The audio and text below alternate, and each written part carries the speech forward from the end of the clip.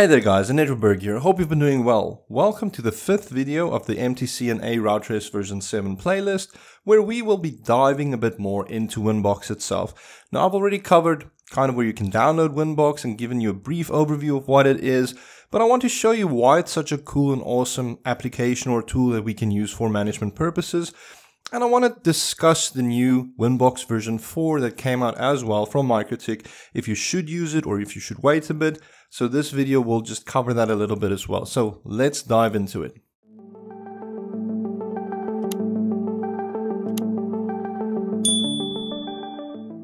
So Winbox is a very powerful tool or application that we can use to manage our MikroTik. So we can actually log on to them, view configuration, change configuration. But not only that, it has a lot of more wonderful use cases. You could connect to MikroTiks over their MAC addresses or layer 2 addresses. You can connect to remote MikroTiks over their MAC addresses.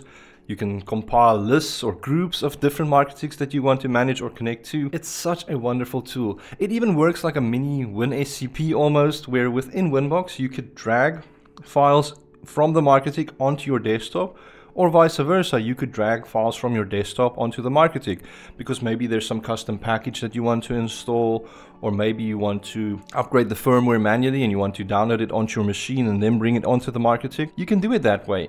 and Winbox allows you to just have this full functionality of a lot of different cool things. Now, one big point that I want to stress is that quite recently, MikroTik actually released Winbox version 4.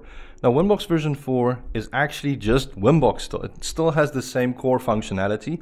It's just a way of us managing our MikroTiks. It still does pretty much everything the old version of Winbox does. But the nice thing about it is it is natively supported on other machines as well, on other operating systems like Mac OS and Linux. So this just gives more users access to this wonderful application instead of having to use stuff like Wine to run Winbox because sometimes wine can be a bit buggy. So this is really fantastic news for everybody. I'm going to go into the forum post quickly because you need to understand something with this new version. If MikroTik doesn't get any feedback, then they're just going to think everything is fine and continue making things the way that it is. So this is why they did actually announce it on the forum first, because this gives them a way of getting people to test the software, and seeing if there are any glaring type of issues. And here we can see Normis has, or not just Normis, but the whole MikroTik community has kind of been compiling what's been happening with the new version 4, issues that there are. And if you find any issues, I would highly recommend that you come onto the forum and you post about it if it doesn't, if it's not already listed. So the MikroTik can take note of it and potentially fix it in version 4 for everybody to enjoy. So that, that's one reason I can recommend using version 4. But if you can't use version 4 because you're using some older version of Windows, MikroTik has also stated that they will keep support up for the old version of Winbox as well, so that you can still use that. It's, it's not just going to vanish, they're not just going to remove it off their website. You can still download version 3, you can connect to it like before, so don't worry about anything like that. So I'm just going to go back onto this side. So let's just quickly go over some of the brief statuses or settings inside of Winbox itself. Now, if we compare the two versions, we can see it looks quite similar. You've got some connection fields where you can set what you want to connect to. You can fill in the login credentials, so a username and a password. And I've already got this neighbors tab open. But the cool thing is with MikroTik, and I did mention this before, it does run something called the CDP, or not CDP, it runs the MNDP protocol, MikroTik Network Discovery Protocol.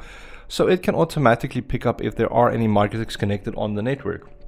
Now here I can see I am learning the MAC address of my HAP AX3 and I can see its uptime has been six days so that's very useful information. But I can actually use this information I get from the neighbors list by just copying either the MAC address by clicking on it and it will fill it into the connect to automatically or I connect on the IP address. So I can click on the connect to for the IP address and it will fill it in there. Now the nice thing is if I go to this manage tab this is actually a list where it will store any MikroTiks where you click on this add slash set button. So if I click on add slash set, it will actually add it to this list. Now I've already got the IP address added, but let me add the MAC address quickly. So let me click on add set. And now there's basically a quick connection field for me that I can use to connect to this MikroTik super quickly. Now that's exceptionally useful. Now it is worth noting with Winbox, it does offer a few extra tools. You can go into something called the advanced mode, which just allows you to do stuff like set notes and groups for your MikroTiks. You can also store sessions. Think of sessions as a memory of a specific MikroTik that you connect to, to remember what windows and stuff you might have had open on that MikroTik. And the cool thing about the advanced tab also is that we can set the ROMON agent. So we can say which ROMON server we're connecting to. Now, if you're not using ROMON, don't be too stressed out about it. You, you don't need to worry too much about the advanced mode, but it is worth noting that there is a legacy mode as well. Now, what does legacy mode do? If I click on it, it doesn't actually open up any settings or anything here. So legacy mode actually allows you to connect to MikroTiks that might be running older versions of RouterOS, older versions of code that's not so compatible with the newer versions of Winbox. It just allows you to get onto those MikroTiks so you can still manage them and maintain them and not have any issues. So that's what legacy mode allows us to do. Now let's quickly just connect onto a MikroTik using Winbox to see what it looks like. Now the first time you log in you'll be greeted by this gray canvas and this might be a little off-putting for some people because it does look like very old Windows applications. I don't know if you know Windows, what was it 3.8 or 3.2 or something, but it looked really simplistic, but it's done so by design. It's done so on purpose because it's actually super intuitive. It's super easy to actually understand what's going on because this gray canvas, this is just where you can place whatever you want or however you want to place your configuration objects, which is inside of this menu in a way that makes sense to you. So this is nice because it's actually very customizable to you as an individual, whatever you feel comfortable with. So I just briefly want to touch on some of the cool things inside of Winbox.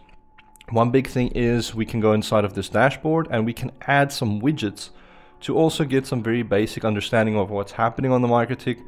So I can do stuff like add the time and date, I can add the CPU utilization, I can add memory utilization, and even uptime. And all of this information is actually super useful because now we can quickly see the first time we log onto the MikroTik, is there maybe some resource starvation issue if, if it's running out of memory or out of CPU we can quickly see that. Or importantly, where I'm from South Africa, there was a lot of like power outages and stuff. So you could actually see if the uptime is maybe like 10 minutes, then you know, hey, this MikroTik, it suffered a power outage. So that definitely means there was some problem with the power supply or maybe with the power provider or maybe with the UPS. So many different things that you can quickly figure out on the fly with these useful widgets. Now, next to this dashboard, we have our settings where we can set a few things. We can either set that we want to view inline comments or not. We can set to hide passwords, which is enabled by default as it should, or you can learn how to zoom in and out. Now, this is useful for somebody like me that's actually supposed to be wearing glasses, or it's also useful for these YouTube videos that I make because now I can zoom in even with the keyboard. I'm pressing Control and plus, and this just makes the objects a little bit bigger so we can see more properly what's happening inside of Winbox as well. So you can get a view that's more or less comfortable for you. And then next to our settings, we have our sessions tab. Now again, sessions, you can just think of this almost as a memory, something that's stored on your computer that Winbox then references, so that any open windows you might have had open from before, it would be stored in the session. And if you open up the session again to this MikroTik, it will just load up with all of the settings or the windows that you had before, so to speak. Super useful. Now, some of the other cool information. We can see what our session ID is. In this instance, I have connected to the MAC address, so it stores that session with this MikroTik's MAC address. We have something known as the safe mode button, Safe mode just allows us a means of configuring our device safely because maybe you're working with some sensitive configuration and you're scared you might get locked out of the MikroTik. Maybe this is your first time setting up VLANs and you've heard if you toggle on that VLAN filtering bridge thing that might knock you out of the MikroTik or lock you out, then this is a great feature where you can just click on safe mode and then any configuration changes you make will only be applied after you click on the safe mode button again. If you quit before actually pressing that safe mode button again, all of the changes you've made will be lost. So very important to note that, but it is a useful tool. And then we've got an undo and redo function. Now this is very, very Windows-esque. Uh, I'm sure if you've worked on stuff like Excel, then you've probably undo and redoed a lot of different things. Now on Winbox, I personally don't often use these functions, to be honest but I can see the use for it because maybe you implement some change and things aren't working or aren't working the ways they're supposed to, then you can quickly undo that change. And if things still aren't working, then you can say, hey, okay, then the issue wasn't made by my change, then you can quickly redo it as well. So it's actually very useful, but it's not something that I personally use a lot. Now that we've got the basics out of the way, we can quickly look at the configuration menu. So this is all of the options on the left hand side that we can actually access to configure our MikroTik. And you can see there are many different menus to go into. Now each and every different option we don't luckily have to cover inside of the MTCNA. However, I don't want you to be scared of all of the options available to you. Very rarely everybody will access every part of the MikroTik to configure it. If you're just using the MikroTik in your house, then you're probably not going to configure stuff like MPLS and route the complex routing algorithms or the complex routing protocols. You're probably just going to be wanting to set up stuff like your general internet access, VLANs, maybe a VPN or two, just some basic things. But it's worth noting that all of the functionality is there out of the box. Now we can quickly just go into some of these options. If I go into this interfaces, it actually pops up this interface box inside of this gray canvas. And it's nice that we can drag and drop, drag this around and put it wherever we actually kind of feel like it needs to be. I can also just resize the window a little bit so it looks more in line to what I expect whenever I'm working on a MikroTik. And let's say, hey, maybe besides the interfaces, let me just go to the interfaces themselves so you can actually see them. But it's nice that we can have this general quick view of what's happening inside of the MikroTik. Now, if I also want to maybe add stuff like maybe I want to add a WireGuard tunnel, I can also click on that on the menu and it brings up the WireGuard configuration menu. And now we can also go over WireGuard configuration. How cool is that? And I could make this in such a way or such a view that is useful to me, that I don't need to struggle whenever I'm working inside of Winbox. And there's one important thing that I actually need to note with these configuration menu objects. If you see that there is this arrow going next to the object, it just means there, there are more sub-menus inside of it. So if I click on IP, we can see there's actually stuff like we can configure an IP address, we can configure our DNS, like is it a server or what DNS server are we using? There's firewall rules.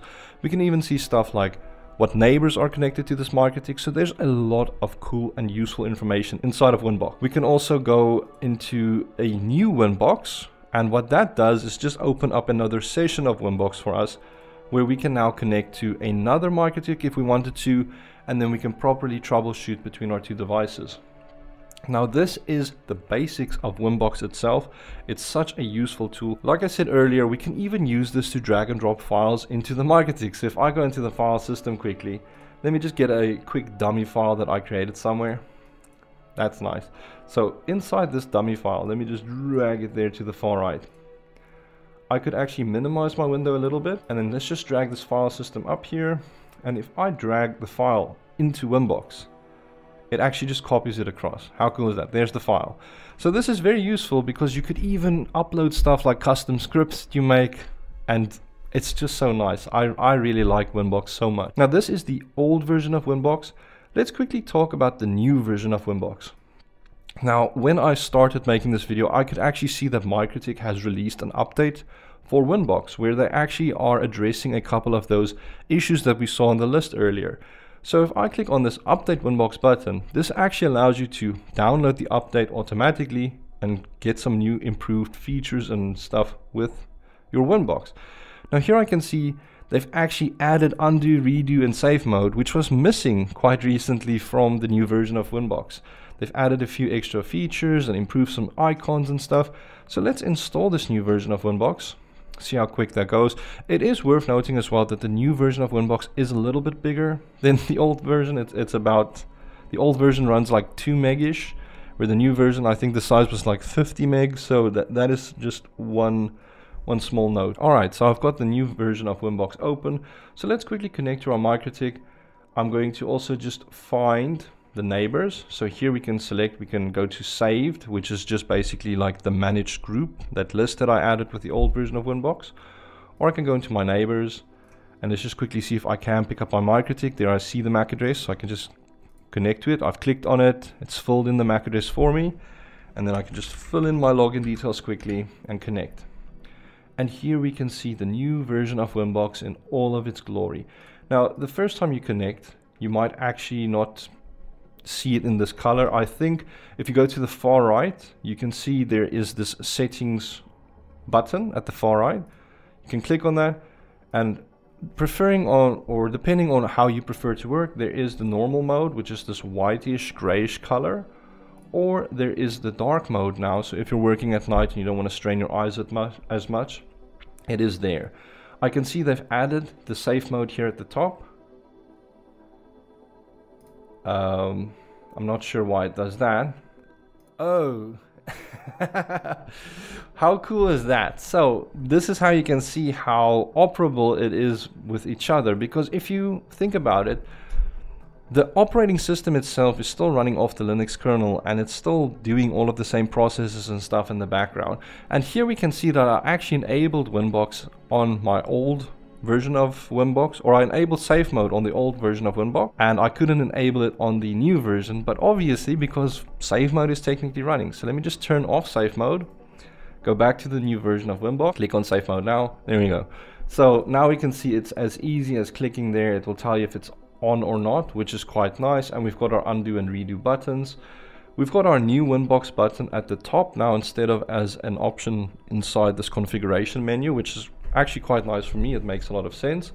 And it's worth noting to disconnect from your MikroTik, you need to click on this little icon that looks like, uh, I'm not sure, it's like two magnets that's like being pulled apart from each other to me. So that's what it kind of looks like to me, but that makes sense. So that is just the disconnect button. But it's worth noting that this looks a lot cleaner. By default as well, I think that the widgets for the resources is enabled so if we go into our settings, our resource panel is enabled by default. One cool thing that I do like about this new version of Winbox though, is that the zoom in and out you can actually do with your scroll wheel now. So if you hold in your control and you do the scroll wheel, you can actually zoom in and out of Winbox, which is personally for me, I like that. that. That's really nice.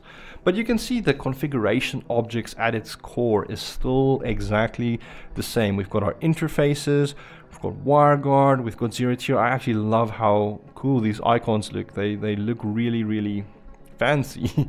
um, but one cool addition that MikroTik has added as well inside of the new version of Winbox, besides allowing our Mac OS and Linux brothers and sisters and such to connect, now we can also create stuff called workspaces. So workspaces, you can kind of think of the sessions, but there's multiple different workspaces that we can connect or configure. So let me create a new workspace quickly. And I could just call this generic troubleshooting. And I can hit OK.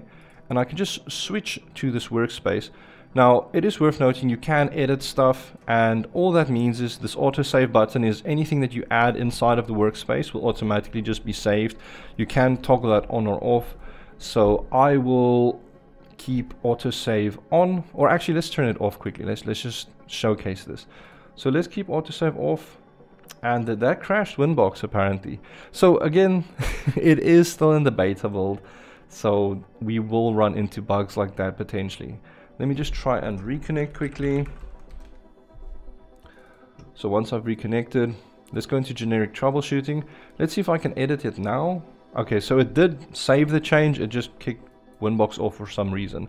But inside the workspace, we can now toggle which window we want to be inside. Since generic troubleshooting doesn't have anything in it yet, it's still just going to look like a blank canvas to us. So let's fill it up with some stuff. Maybe I want to have stuff like my terminal running inside of there so that I can quickly run a few pings and such and see if something is wrong inside of the MikroTik. Maybe I also want to have my torch tool running so I can go into my tools and do a quick torch and have this running somewhere. And maybe I want to have my interfaces up as well and we can also just put that in a little window somewhere like here. And there we go. This is now our just if we quickly want to have a look at the torch and the interface list and we want to have access to our terminal so we can do stuff like run pings we have this nice view from this generic troubleshooting workspace. And I can now just if I can click on save since I have the autosave disabled but by default if it is enabled any changes you again make to the workspace just get saved. So let's just toggle back to none. There you see, this is just the lobby basically, nothing's happening here. But if I quickly just wanted to go to this other workspace where I want to do generic troubleshooting, click on it, all of our generic troubleshooting tools are there for us to access quickly. So this is actually super, super intuitive and nice. I hope you see how useful this is as an application. I do understand there might be a lot of people that do not want to use the new version of Winbox 4 yet because they feel like MikroTiks still needs to do a little bit of work. But again, I highly encourage us as a community, if you are able to join the discussion, download Winbox version 4, try and use it for your daily driver. If there is some case where it doesn't work properly for you at all, you can always just switch it back to the old version of Winbox. But this is a nice way for us to just let MikroTik know what's wrong if there are any issues and they can then fix it for us. So anyways, I'm going to end off the video here. Thanks again for watching and I hope you've learned a little bit more about Winbox and why it's such a cool and awesome tool. I'll catch you guys in the next video. See ya.